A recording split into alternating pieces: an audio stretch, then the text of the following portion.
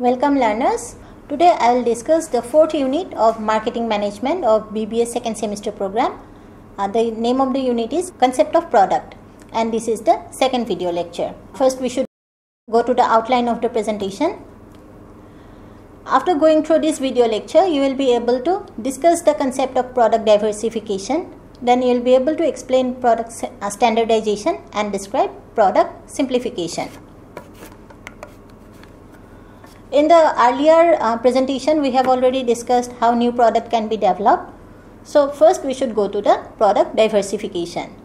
By diversification, we generally mean that something new will be added. It may be a new product or it may be new market or maybe use of new technology for the existing products or even a new company. So this uh, newness is no, uh, considered as diversification for the product.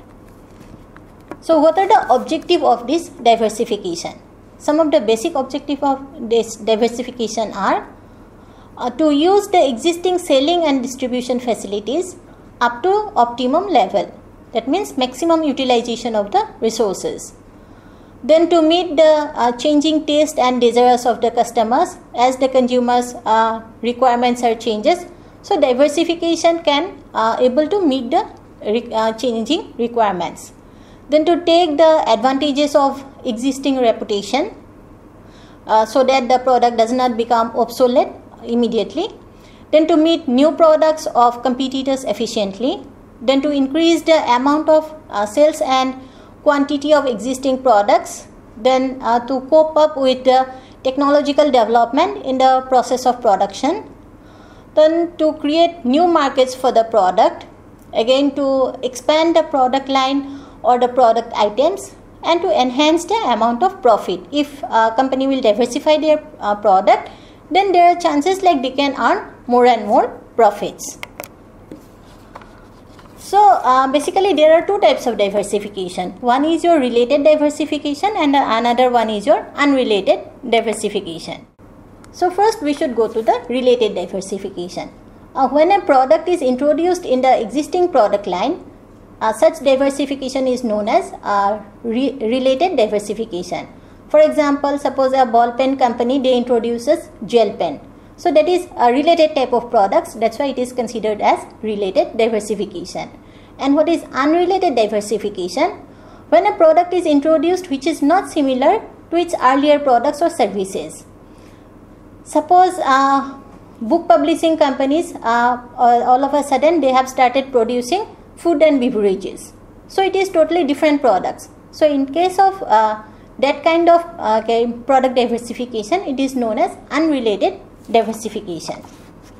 Next, we will go to the standardization. So what is product standardization? Like product uh, standardization means the determination of the basic limits or grades in the form of specifications to which manufactured goods must conform and uh, classes into which the industry may be stored. So standardization is the process of formulating and applying uh, rules for an orderly approach to a specific activity for the benefit of all concerned. So uh, product standardization helps us in uh, standardizing the particular product for the market. Uh, there are different types of standardization. Some of the important standards are uh, suppose product standards. So when uh, the industry sets the standard for the product, then it is easier for the customers to purchase a specific product like uh, ISO mark or FPI certification. All those things set the standard of a product. Then material standards. Uh, suppose hallmarks. All these gives the material standards for the product. Then quantity standard like uh, standard measure for different types of uh, quantity of the product.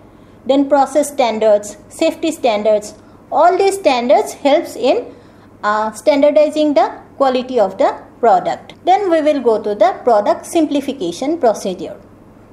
So the uh, product simplification procedure it consists of four uh, steps. One is committee formation for the simplification of the product. Then design criteria uh, which will develop and design for the product simplification and then uh, spell out simplification strategies whether the strategy company will adopt for this product simplification and then program implementation. So all these four uh, steps are required for simplification of a product. Now we will discuss the product simplification strategies. Some of the important strategies for the simplification are first one is product line uh, pruning strategy then the run out strategy then contract marketing strategy and then product uh, license strategy and product abandonment strategy. So uh, in this video lecture we have basically discussed uh, product diversification, product standardization and product simplification. Now uh, we'll just sum up. So in this video lecture we have discussed about product diversification, standardization and simplification. The efforts of developing product if uh, increasing the scope to satisfy the needs of the customers like a change for the product. The development of product is the way of, for expansion of business activities and meeting the competitors efficiently. Product diversification, standardization and simplification are the marketing strategy to keep the farm uh, ever growing effectively and efficiently. With these strategies, the firm can meet the competitors strongly. So, hope you have understood this video lecture. I have uh, given few uh, references. I'll see you again in another video lecture. Thank you.